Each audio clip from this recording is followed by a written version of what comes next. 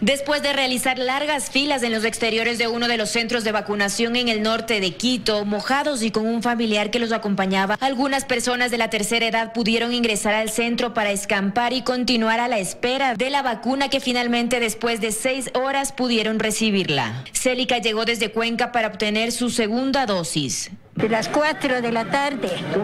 Yo quería vacunar.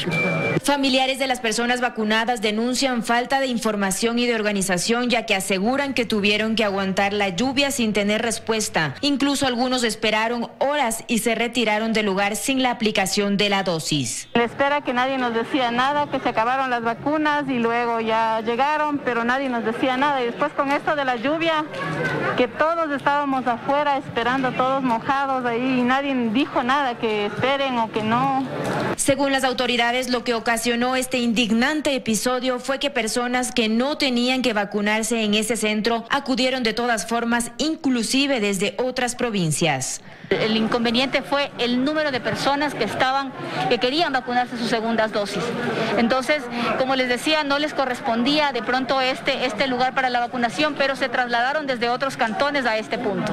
Un total de 780 dosis ser aplicadas en el centro de vacunación del Colegio Benalcázar. Sin embargo, se aplicaron más de 1.500 vacunas por la presencia de ciudadanos que no debían aplicarse la vacuna en ese lugar. En Quito, Carla Cerón, 24 horas.